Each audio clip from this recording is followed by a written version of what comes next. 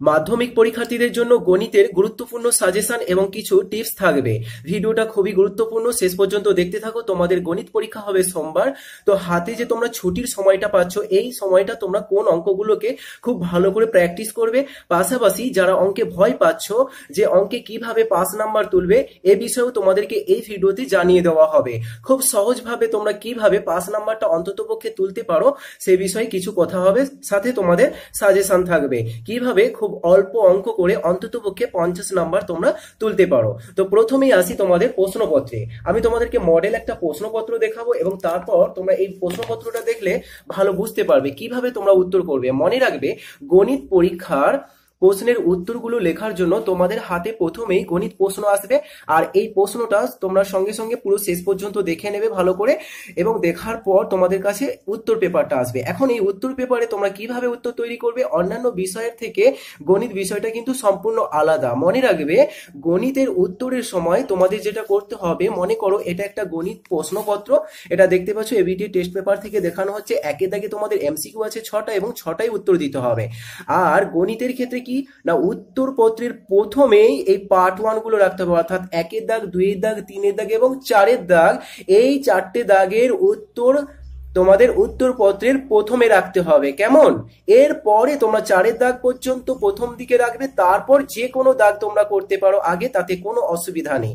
এখন যারা ভালো মানের ছাত্র না, বা অঙ্কে যারা ভয় পাচ্ছ, খুব ভালো অঙ্ক করতে পারো না, তারা কীভাবে তোমাদের উত্তরপত্রটা তৈরি করবে যাতে করে অন্তত তোমরা পাঁচ নাম্বারটা তুলতে পারো। দেখো একে দাগে তোমাদের ছটা এমসিকিউ থাকে, তো এখানে তোমরা উত্তরটা যারা অঙ্কের সমাধান করতে পারো, তারা সমাধান করবে, করার পর উত্তর বেরিয়ে আসবে, সঠিক উত্তরটা তোমরা সেখানে লিখছো এবং অঙ্কে কোষে সেখানে দেখাচ্ছ, কিন্তু যারা অঙ্ক কষতে পারবে না, অন্ততপক্ষে এই ছটা এমসিকিউ উত্তর তোমরা আন্দাজে তোমার যেটা মনে হয় সঠিক সেটাই তুমি উত্তর করে আসো, ছেড়ে আসবে না। একে দাগ দেবে, প্রশ্ন তুলবে, প্রশ্ন তুলে তোমার যেটা মনে হচ্ছে এ সি ডি এর মধ্যে যেটা সঠিক উত্তর সেই উত্তরটা লিখবে। শুধু কিন্তু দাগ নাম্বার দিয়ে সঠিক উত্তরটা তুলবে না। যারা অঙ্ক কষতে পারবে, তারা কষে দেখাবে। তাদের প্রশ্ন তোলার কোনো দরকার নেই।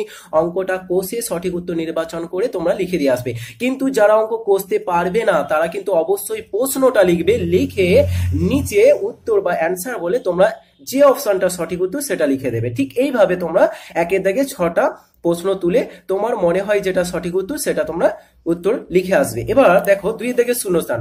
তাহলে খাতার প্রথমে একের দাগ থাকল, তারপরে দুই দাগ। দুই দাগের প্রশ্ন এখানে শূন্যস্থান থাকছে। এখানে তোমাদের মোট ছটি প্রশ্ন থাকবে যে কোনো পাঁচটা উত্তর দিতে হবে এবং এক নাম্বার করে মোট পাঁচ নাম্বার। তো দুই দাগে তোমরা ছটা ছটা প্রশ্নই তুলে ফেলবে, শূন্যস্থানগুলো বড় করে ফাঁকা রাখবে। তোমাদের যদি কোনো জানা থাকে সঠিক উত্তর, তাহলে সেটা লিখবে।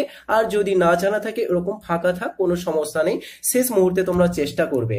এবার তিনের দাগে তিনের দাগে দেখো তোমাদের সত্য বা মিথ্যা তোমাদেরকে লিখতে হবে। তিনের দাগে যে প্রশ্ন থাকছে, এখানেও তোমাদের ছটা প্রশ্ন থাকবে, যে কোনো পাঁচটা তোমাদেরকে উত্তর দিতে হবে। এখন এই পাঁচটার জন্য তোমরা ছটা ছটাই লিখে ফেলবে। প্রত্যেকটা প্রশ্ন লেখার পর শেষে বক্স করবে, আর বক্স করে ওই বক্সের ভেতরে তোমরা সত্য অথবা মিথ্যা তোমাদের যেটা মনে হয় সেটা লিখবে। তো এইভাবে তোমরা উত্তর তৈরি করবে। এবার চারের দাগে দেখো, এগুলো কিন্তু দুই নাম্বারের প্রশ্ন। এইগুলোর উত্তর দিলে দু নাম্বার পাবে। তো এক্ষেত্রে তোমরা তো আর এখানে কোনোভাবে শুধু উত্তরটুকু বসাতে পারবে না, এখানে তো তোমাদেরকে কষে দেখাতে হবে। তো চারের দাগ দেবে দিয়ে তোমরা দেখবে প্রশ্নগুলো, মোটামুটি যে প্রশ্নগুলো তোমরা সমাধান করতে পারবে সেগুলো সমাধান করে নেবে বা তোমাদের মনে হয় এখানে চারের দাগে মোট বারোটা দু নম্বরের প্রশ্ন থাকে, যে কোনো দশটা উত্তর দিতে হবে। তো এখান থেকে যতটা বলে মনে হয় যে তোমরা পারবে উত্তর দিতে, সেই পরিমাণ তোমরা খাতার পৃষ্ঠাতে জায়গা রাখবে। তো জায়গা রাখার পর তোমরা যেটা কি করবে না, একেবারে চলে যাবে উপবাদ্যতে।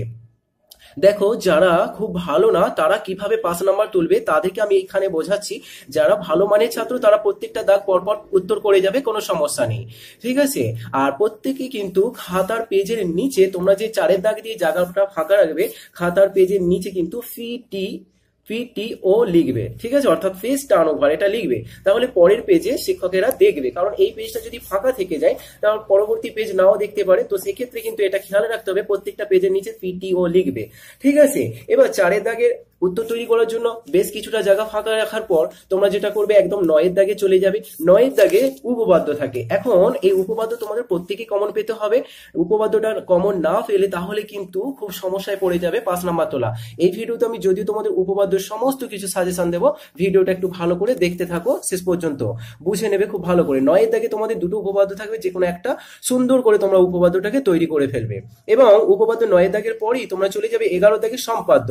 তো এখানে সম্পাদ্য দুটো থাকবে, যে কোনো একটা তোমাদেরকে উত্তর দিতে হবে, ঠিক আছে? তো যে কোনো একটা উত্তর দিতে হবে। তো তোমরা ভালো করে সম্পাদ্যটা অঙ্কন করে নেবে, এটার জন্য পাঁচ নাম্বার থাকছে, এবং বাকি দাগগুলো তোমরা চেষ্টা করবে কোনগুলো উত্তর দিতে পারবে, ঠিক আছে? তো এইবার তোমরা দেখবে বীজগণিত, পাটিগণিত, এই প্রশ্নের উত্তরগুলো দেওয়ার চেষ্টা করবে। তাহলে দেখো প্রথমেই পার্ট ওয়ানটা এক, দুই, তিন, চার কমপ্লিট করার পর নয় আর এগারো কমপ্লিট করবে। তাহলে এতটুকু যদি তোমরা কমপ্লিট করো, তাহলে একটা পাস নাম্বার তোমাদের হাতে এসে যাচ্ছে। সেটা কীভাবে? এখন আমি তোমাদেরকে দেখিয়ে দেবো এবং পরবর্তী দাগগুলো, কোন কোন দাগগুলো উত্তর দেবে এবং কীভাবে তোমরা নাম্বার পাবে, কোন প্রশ্নগুলো প্রস্তুতি নেবে সোমবার দিন পরীক্ষার জন্য, সেটাও আমি তোমাদেরকে দেখিয়ে দেবো। দেখো, এতক্ষণ পর্যন্ত একে দাগে যে এমসিকিউ গুলো উত্তর দিয়েছ অন্তত পক্ষে তোমার না আন্দাজে হলে দুটো ঠিক হবে, ছটা উত্তর দিয়েছ, দুটো ঠিক। তাহলে দুই নাম্বার পাবে সত্য মিথ্যা, তোমাদের ছটা থেকে ছটাই উত্তর করবে। যদিও তোমাদের ওখানে পাঁচটা উত্তর চেয়ে থাকে, কিন্তু কোনো একটা ভুল গেলে বাকি পাঁচটা সঠিক হওয়ার জন্য পাঁচ নাম্বার পেয়ে যাবে। এখন আমি ধরে নিলাম তোমরা আন্দাজেই সত্য বা মিথ্যা তোমার যেটা মনে হয় লিখছো, তো সেক্ষেত্রে তোমরা পেয়ে যাচ্ছ কত না? দুই নাম্বার। তাহলে দুই দুই, চার এবং তোমাদের স্কুল একটা প্রজেক্ট থাকে দশ নাম্বার। তো দশ নাম্বারের প্রজেক্টটা যে স্কুলে জমা দিয়েছ, এখানে অন্ততপক্ষে তোমাদের সাত নাম্বার থাকবে। তাহলে দেখো এমসিকিউ এবং সত্য মিথ্যা এটা নিয়ে তোমাদের আর প্রজেক্ট নিয়ে এগারো নাম্বার হচ্ছে। এবার দেখো, উপবাদ্য। উপবাদ্যের জন্য তোমাদের পাঁচ নাম্বার থাকছে। সম্পদের জন্য তোমাদের পাঁচ নাম্বার থাকে। কিন্তু আমি ধরে নিলাম, তোমরা পাঁচে পাঁচ পাবে না। কোনো কারণে হয়তো ভালোভাবে না হলে সেক্ষেত্রে চার নাম্বার এই হচ্ছে তোমাদের কুড়ি নাম্বার ঠিক আছে? তাহলে এখন এই কুড়ি নাম্বারটা কিন্তু তোমাদের একেবারে পঁচিশ পেতে হবে। তো সেক্ষেত্রে কুড়ি নাম্বার তো এই কুড়ি নাম্বারের পাশাপাশি কিন্তু আরও অনেক জায়গা থেকে নাম্বার পাওয়া যাবে। সেটা কীভাবে আমি তোমাদেরকে শেষে দেখিয়ে দেবো। তোমাদের এই ভিডিওতে এবার আমি আলোচনা করব মোস্ট ইম্পর্টেন্ট কোশ্চেন কোশ্চেনগুলো সোমবার পরীক্ষার জন্য। পাটিগণিত থেকে তোমাদের মোট একুশ নম্বরের প্রশ্ন থাকবে বীজগণিত থেকে তোমাদের মোট চব্বিশ নম্বরের প্রশ্ন থাকবে, ঠিক আছে? এই পঁয়তাল্লিশ নাম্বার, এই পঁয়তাল্লিশ নাম্বারের আমি এখন সাজেশন দেব, আর উপবাদ্য সম্পাদ্য, এটাও তোমাদের সাজেশন থাকবে। তো দেখো বীজগণিত এবং পাটিগণিত থেকে এই নাম্বারগুলো পাওয়ার জন্য তোমরা যেটা করতে পারো, তো কোষে দেখি এক, দুই। মোস্ট ইম্পর্টেন্ট অধ্যায়গুলো থেকে খুব গুরুত্বপূর্ণ প্রশ্নগুলো আমি আলোচনা করছি। কোষে দেখি এক, দুই থেকে তোমরা চারের দাগের বারো চোদ্দ, ষোলো এবং আঠেরো এই অঙ্কগুলো প্র্যাকটিস করবে। এবং কোষে দেখি এক তিন থেকে তোমাদের পাঁচ, চার, সাত, আট, নয় এবং প্রয়োগে ষোলো নম্বর প্রয়োগটা যেটা পেজ নম্বর ইলেভেনে পেয়ে যাবে, ঠিক আছে? তো এই অঙ্কগুলো তোমাদের দেখতে হবে, এগুলো তোমাদের তিন নম্বরের এবং পাশাপাশি কিন্তু পার্ট ওয়ানগুলো তোমরা দেখে নেবে প্রত্যেকটা অধ্যায়ের শেষে যে এমসিকিউ থাকে এবং সত্য মিথ্যা থাকে ও শূন্যস্থান থাকে, এগুলোকে আমি এই মুহূর্তে তোমাদেরকে জানাব, অন্ততপক্ষে মুখস্থ করে নিও, ঠিক আছে? পরবর্তী দেখো কোষে দেখি দুই। এই অধ্যায়টা কিন্তু খুবই খুবই গুরুত্বপূর্ণ এবছরের জন্য তোমাদের পাটিগণিত অধ্যায়। এখান থেকে পাঁচ নম্বরের একটা প্রশ্ন আসার সম্ভাবনা প্রবল। পরীক্ষার প্রশ্নপত্রে তোমাদের পাটিগণিত তোমাদের প্রশ্নপত্রের পাঁচের দাগে থাকবে। ঠিক আছে, পাঁচের দাগে তোমাদের এখানে প্রশ্ন থাকবে তিনটি, যে কোনো চারটে প্রশ্ন থাকবে, যে কোনো দুটো উত্তর দিতে হবে। তো এই অধ্যায় থেকে আসার সম্ভাবনা প্রবল। তো দেখো, তেরো, চোদ্দ, আঠেরো, উনিশ, কুড়ি, এই সরল সুদ কোথায় প্রত্যেকটা অঙ্ক খুব গুরুত্বপূর্ণ। আশা করা যে এই পাঁচটার মধ্যে থেকে তোমরা একটা কমন পেয়ে যাবে। এবং একুশের দাগে সব, বাইশের দাগে সব করবে। এগুলো পার্ট ওয়ান এমসিকিউ শূন্যস্থান, সত্য মিথ্যা, এবং দুই নাম্বারে যে প্রশ্ন বলা হয়েছিল তোমাদের, সেই প্রশ্নগুলো এখান থেকে তৈরি করে নেবে। ঠিক আছে? তো আশা করা যায় তোমাদের সরল সুদ কোথায় থেকে অঙ্ক থাকবে। অন্তত এখান থেকে পাঁচ নম্বরে বড় প্রশ্ন না থাকলে তোমাদের পার্ট ওয়ান কিন্তু একুশ বাইশ থেকে থাকবে একেবারে। আর এবছর সুদ কোষা খুবই গুরুত্বপূর্ণ পাঁচ নম্বরে একটা প্রশ্ন আসতে পারে। এরপর দেখো, বীজগণিত আবার একটা অধ্যায়, পাঁচ তিন। কোষে দেখি, পাঁচ তিন, এখান থেকে তোমাদের তিন নম্বরের প্রশ্ন থাকবে। এর আগে যে তোমাদের পাঁচ এক পাঁচ দুই আছে, সেখানে কিছু এমসিকিউ বা শূন্যস্থান থাকছে, দেখে নেবে। এবং পাঁচ তিন অধ্যায়েও এমসিকিউ গুলো অবশ্যই করবে, শূন্যস্থান, সত্য মিথ্যা এবং দুই নম্বরের প্রশ্নগুলো তৈরি করবে। তো এখানে দেখো তোমাদের চারের দাগের দুই নম্বর, ছয়ের দাগের পাঁচ, ছয় এবং নয়ের দাগের এক আর দশের দাগের এক নম্বর অঙ্কটা তোমাদের প্র্যাকটিস করতে হচ্ছে। এরপর দেখো আবার একটা পাটিগণিত অধ্যায়, কষে দেখি ছয় এক। এখানে তোমাদের চক্রবৃদ্ধি সুদ আছে।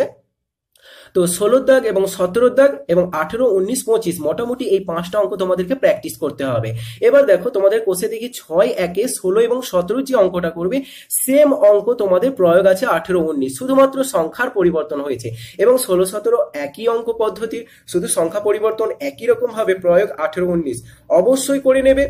এই পদ্ধতির অঙ্ক এবছরের জন্য খুবই গুরুত্বপূর্ণ। ষোলো, সতেরো যে পদ্ধতি আছে, একটাই পদ্ধতি এবং পাশাপাশি আঠেরো, উনিশ, পঁচিশ দেখে নিলে খুব ভালো হয়। এবার দেখো, পরবর্তী পরবর্তী আরেকটা পাটিগণিত অধ্যায় ছয় দুই।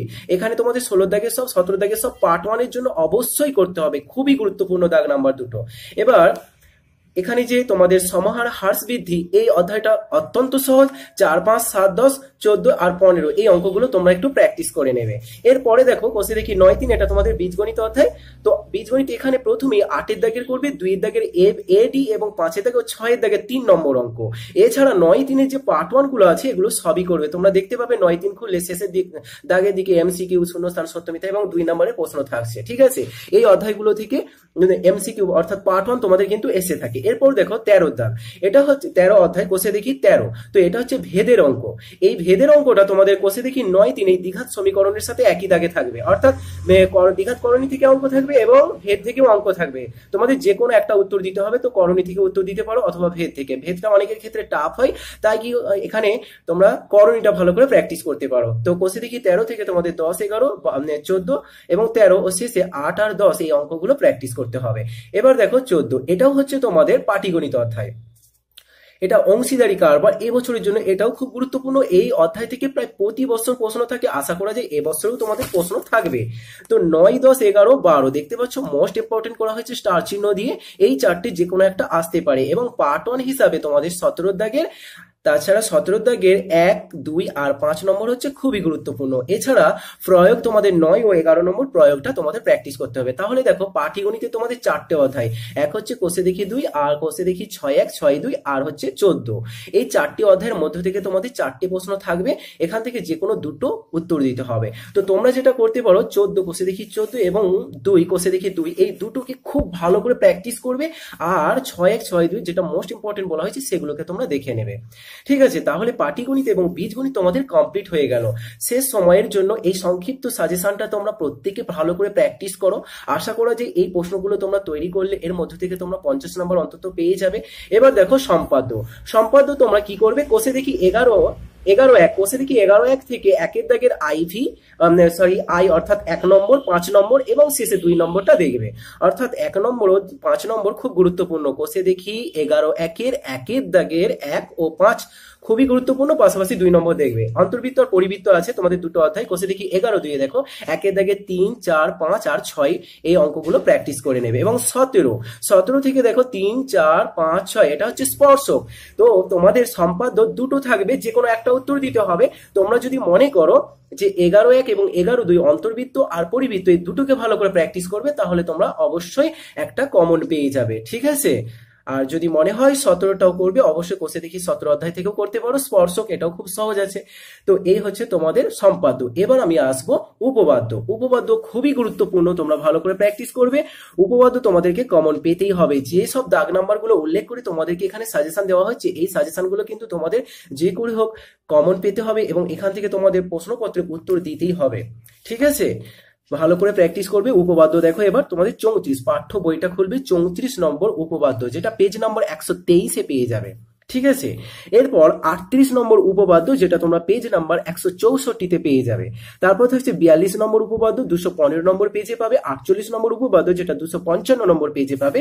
এরপর যেটা করতে হবে, চল্লিশ নম্বর উপবাদ্য দুশো আট নম্বর পেজে তো দেখো, মোটামুটি এই যে পাঁচটা উপবাদ্য দেওয়া হয়েছে, এই পাঁচটার মধ্যে চৌত্রিশ এবং আটত্রিশ হচ্ছে মোস্ট ইম্পর্টেন্ট তোমরা দেখতেই পাচ্ছ। পাশাপাশি তোমাদেরকে কিন্তু এবছর প্রত্যেকেই বত্রিশ ও তেত্রিশ নম্বর উপপাদ্য দুটো তৈরি করতেই হবে। একেবারে প্রথম থেকেই তোমাদের বিভিন্ন ভিডিওতে বলা হয়েছে। বত্রিশ ও তেত্রিশ নম্বর উপপাদ্য দুটো খুবই ছোট ছোট এবং প্রমাণে সামান্য পরিবর্তন। উপপাদ্য দুটো প্রায় একই রকমের, প্রমাণেতে সামান্য পরিবর্তন এবং প্রশ্নটা সামান্য পরিবর্তন হয়েছে। তোমরা তোমাদের পাঠ্য বইয়ের উনষাট ও ষাট নম্বর পেজে পেয়ে যাবে। এই দুটো উপপাদ্য প্রত্যেকেই করতে হবে, পাশাপাশি এই পাঁচটা দেখতে হবে। এদের মধ্যে মোস্ট ইম্পর্টেন্ট চৌত্রিশ, আটত্রিশ। আশা করা যায় চৌত্রিশ এবং আটত্রিশ এর মধ্যে একটা তোমরা কমন পেয়ে যাবে। নাচের বত্রিশ, তেত্রিশ থেকে আসতে পারে। আর অতিরিক্ত হিসাবে তোমাদের বিয়াল্লিশ, আটচল্লিশ এবং চল্লিশ এই উপপাদ্যগুলো দেখতেই হবে। ঠিক আছে? তো এই হচ্ছে তোমাদের সম্পূর্ণ সাজেশন এই সাজেশনগুলো তোমরা খুব ভালো করে প্র্যাকটিস করবে। এবার দেখো, নাম্বারটা তোমাদের কত হচ্ছে? আগে আমাদের কুড়ি নাম্বার ছিল। তো এখানে যে পাটিগণিতের আলোচনা হয়েছে, আশা করা যায় তোমরা এখান থেকে দুটো প্রশ্ন কমন পেয়ে যাবে পাঁচ নাম্বার করে। তাহলে এখানে কি হচ্ছে? না, দশ নাম্বার পাচ্ছ। আচ্ছা যদি সব থেকে কম, আমি এখানে পাঁচ নাম্বার ধরে নিলাম। একটা প্রশ্নই তোমরা কমন পাবে, তো সেক্ষেত্রে আমি পাঁচ নাম্বার ধরলাম। এবং এখানে পাটিগণিত থেকে পাঁচ নাম্বার এবং বীজগণিত থেকে সব থেকে কম আমি পাঁচ ধরছি। তাহলে দেখো, তোমাদের নাম্বারটা কিন্তু আসছে তিরিশ নাম্বার। আর এখানে যে এমসিকিউ মাত্র দুটো, সত্য মিথ্যা দুটো, দুই নাম্বার করে ধরা হয়েছে, আশা করা যায় এখানে আরও বেশি কিছু তোমরা সঠিক উত্তর করতে পারবে, সেক্ষেত্রে তোমাদের এখানে কিন্তু নাম্বারটা প্লাস হবে এবং তোমাদের শূন্যস্থান থাকছে, অন্তত পক্ষে শূন্যস্থান থেকে এক দুই নাম্বার তো আসবে। তো এভাবে দেখো তোমাদের কিন্তু এখানে নাম্বার যেটা আসছে দশ এখানে পাঁচ পাঁচ, দশ, আর আগে তোমাদের এখানে ছিল কত কুড়ি, তাহলে তোমাদের এটা তিরিশ নাম্বার। তাহলে অনায়াসে কিন্তু তিরিশ নাম্বার তোমাদের কাছে এসে যাচ্ছে, মাত্র কয়েকটা অঙ্ক প্র্যাকটিস করে। অর্থাৎ যারা পাস করার ব্যাপারটা নিয়ে ভয় পাচ্ছ, এখানে ভয় পাওয়ার কিছু নেই, তোমরা খুব ভালো করে একটু প্র্যাকটিস করে নাও। সময়টা তোমরা পাচ্ছ ছুটি, এই ছুটির সময়টা ভালো করে প্র্যাকটিস করে তোমরা পরীক্ষা দিতে যাও। আর এইভাবে তোমরা কিন্তু উত্তরপত্রটা তৈরি করবে। তাহলে আশা করা যায় তোমরা নাম্বার পেয়ে যাবে। এবং পাটিগণিতের ক্ষেত্রে তোমাদেরকে বলে রাখি, যখন মনে করো দুটো প্রশ্নের উত্তর দিতে হবে, কিন্তু একটা প্রশ্ন কমন পেয়েছ আর একটা প্রশ্ন কমন পাও না, সেক্ষেত্রে তোমরা কি করবে দেখো, যেমন এখানে কিছু এ থাকছে, প্রশ্ন থাকছে, যে এই প্রশ্নটা ধরে নাও এখানে বলেছে এক ব্যক্তি কিছু টাকা এই শর্তে ধার করে নেয় যে প্রথম বছরে এত টাকা দ্বিতীয় বছরে এত টাকা সে ফেরত ফেরত দেবে। যদি চক্রবৃদ্ধি হারে এত পার্সেন্ট হয়, তবে তিনি কত টাকা ধার করেছিল? দেখো, এই প্রশ্নটা আছে। মনে করো, এটা উত্তর তৈরি উত্তর পারবে না তুমি, পরবর্তী দুই দাগের উত্তরটা তুমি পেরেছ। তো এখন এটা ধরো, তোমাকে এখানে দুটো উত্তর দিতে হবে, কিন্তু একটা সম্পূর্ণ উত্তর পেরেছ আর একটা কোনোটাই পারছ না। সেক্ষেত্রে এই ধরনের প্রশ্ন থাকলে তুমি শুধু পরীক্ষার খাতায় লিখে আসো দাগ নাম্বার দিয়ে। এই যে শেষ বলেছিল যে তবে তিনি কত টাকা ধার করেছিলেন? তুমি শুধু লেখো মনে করি তিনি এক্স টাকা ধার করেছিলেন। শুধু এটা লেখো, লেখে তোমরা একটু জায়গা ফাঁকা দাও, তাহলে দেখবে এটার জন্যই তোমরা এক নাম্বার পেয়ে যাবে। এগুলো গোপন টিপস, যদিও আমার অন্যান্য ভিডিওতে এগুলো বিস্তারিত আলোচনা হয়েছে, তোমরা দেখে নিতে পারো। তোমাদের সুবিধার্থে ভিডিও ডেসক্রিপশনে লিঙ্ক দেওয়া হয়েছে। এরকম অনেক টিপস দেওয়া আছে, পরিমিতি থেকেও কীভাবে নাম্বার পাবে। তাছাড়া কমিউনিটি ট্যাগেও দেওয়া হয়েছে। তোমরা চাইলে এই ভিডিওর ওর কমেন্ট বক্সেও দেখতে পারো। পিন করে দেওয়া হবে লিঙ্কটা তো ওই ভিডিওটা তোমরা যদিও বিগত বছরে ছাত্রছাত্রীদের জন্য দেওয়া হয়েছিল, ভিডিওটা তোমরা একটু দেখে নিলে। সেখানে আরও কিছু গোপন টিপস আছে যেখান থেকে তোমরা নাম্বার পেতে পারো, সেগুলো একটু দেখে নেবে। এ যেটা বলা হলো এখানে, তো এইভাবে অন্যান্য দাগ নাম্বারগুলো উত্তর দিলে তোমরা কিছুটা হলে নাম্বার পাবে। এটা শুধু লিখলে তোমরা কিন্তু একটা নাম্বার পেয়ে যাবে এক নাম্বার, ঠিক আছে? তো সম্পূর্ণ আলোচনা হলো, তোমরা খুব ভালো করে প্র্যাকটিস করে নিও।